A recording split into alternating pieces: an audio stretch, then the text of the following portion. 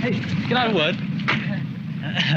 Are the Beatles going to go their own ways in 1967? do you think? They could be, uh, you know, on our own or together. We're always involved with each other, whatever we're doing. Could you ever see a time when, in fact, you weren't working together? I could see us working not together for a period, but we'd always get together for one reason or other. Like, I mean, you you need other people for ideas as well, but you know, and we all get along fine. Will you will you be will you be doing films on your own next year? Uh, no, I don't want to make a career of it. I did it just because I felt like doing it. And if some um, Dick Lester asked me, and I said yes, and I wouldn't have done it if the others hadn't liked it. You know? They said fine because we were on holiday anyway. Do the others have film ambitions on their own? No, nobody's particularly interested in it. I'm not all that mad on it. you know. What do you really want to do? I mean, do you write I don't know. I just want to do a few things, you know. Yeah. You haven't really decided exactly what. No, I'll try a few things, you know, but I just found out a bit more about films doing that. you know. What's this? The songwriting team thing will keep going on, whatever happens, will it? Yeah, we'll probably carry on writing music forever, you know, whatever else we're doing. Because you just can't stop. You, you know, you find yourself doing it whether you want to or not. But do you think the tours, like the American tours and the English one, you know, the Well, stands in England? You know, there must be a point where they don't work anymore because they're not to do with what we're doing, record-wise or film-wise.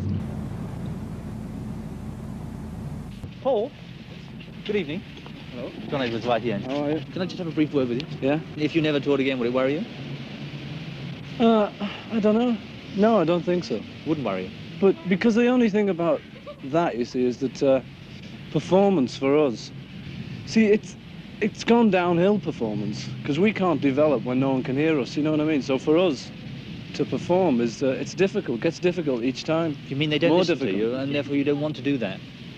Oh yeah, we want to do it, but uh, if we're not listened to, then and we can't even hear ourselves, then we can't improve in that. We can't get any better. So uh, we we're trying to get better with things like recording.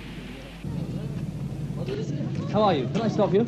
Well, have a brief word with you. Do you think that in the new year that you're going to be going your own ways instead of being in a No, group? no. No? No, George, definitely not. What about another word?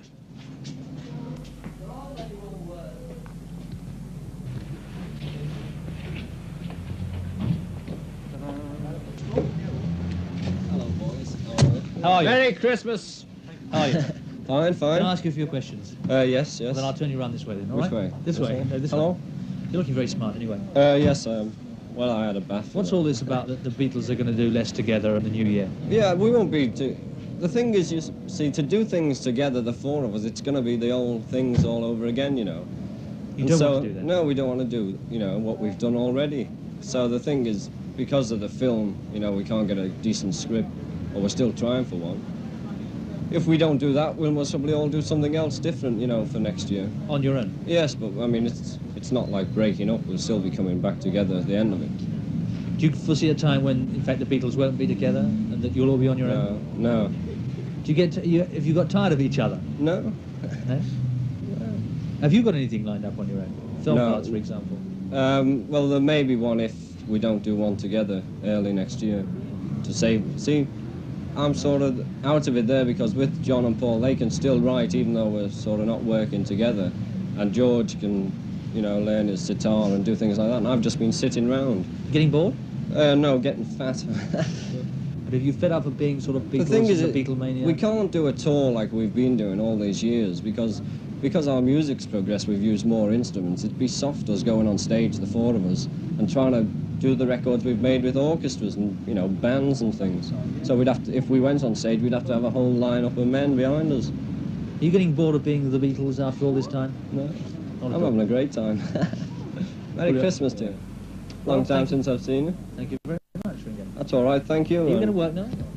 Well, I'll see what they're up to. I think it may be tea time with any luck. Yeah. Bye.